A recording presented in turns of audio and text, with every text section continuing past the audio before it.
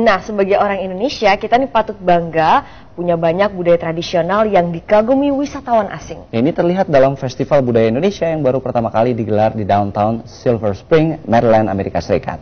Para pengunjung diajak untuk melihat serta juga mencicipi langsung aneka kuliner dan kesenian Indonesia. Dan saudara berikut laporan dari tim VOA. Festival Budaya Indonesia ini pertama kali digelar di downtown Silver Spring, Maryland. Pengunjung bisa menikmati kuliner dan pertunjukan seni budaya Indonesia.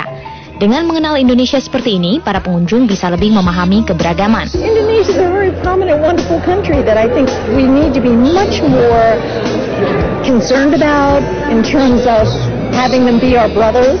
Indonesia being the world's largest Muslim country, if we knew Indonesia better, we would probably know Islam better too, and it might help us on the world stage.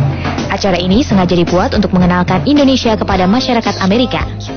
Beri cerita-cerita dan karya dari Indonesia kepada kepada semua orang-orang di Silver Springs, di Maryland, di sini, di Amerika. Orang Indonesia bisa berbangga hati karena besarnya apresiasi orang asing terhadap budaya tanah air. Salah satunya terlihat dari antrian panjang orang Amerika yang ingin mencicipi kuliner Indonesia. Berbagai kerajinan tangan, lukisan, dan baju batik juga menarik mata pengunjung.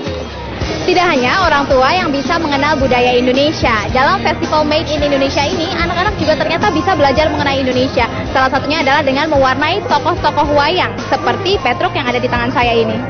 Orang tua maupun anak-anak ikut antusias melihat atraksi panggung Made in Indonesia. Apalagi ada banyak pertunjukan yang bersifat partisipatif. Pengunjung bisa ikut berlatih bersama, seperti berlatih angklung bersama dan pencak silat. I love pencak silat. I've been taking pencak silat now for 25 years.